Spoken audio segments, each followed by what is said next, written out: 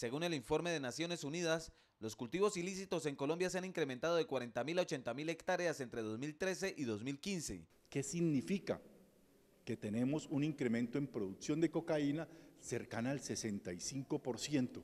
Los terrenos de mayor cultivo están especialmente en zona de frontera del departamento de Nariño con Ecuador, extendiéndose por la Amazonía hasta llegar a la frontera con Venezuela. Cali, por su ubicación geográfica, recibe toda la droga que viene del Pacífico, que viene de los límites con Ecuador, de la Amazonía y la Orinoquía.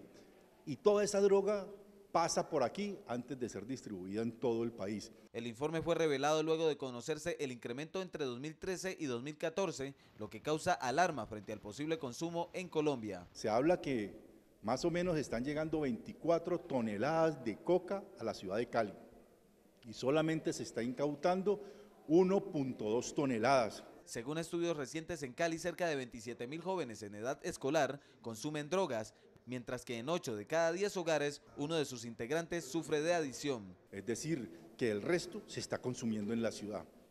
Las cifras siguen siendo alarmantes. El incremento de los cultivos coincide con la eliminación de la aspersión aérea decretada por el gobierno en 2014.